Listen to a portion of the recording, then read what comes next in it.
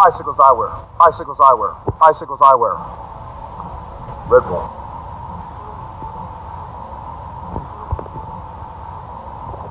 This is the man right here, Kev. He sells these beautiful sh- shades, riding glasses, all kinds of gear, transitional lenses, uh, prescriptions, everything. Anything you need, this guy right here can fix it for you, help you out, get you seeing right, get you riding right with your eyes right, so you can see what you're riding and everything you're doing right in front of your face, so you don't crash.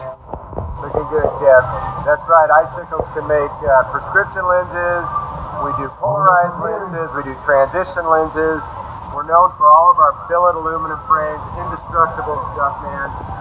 But our real kick right now is we're doing a single vision or progressive for you guys that can't see.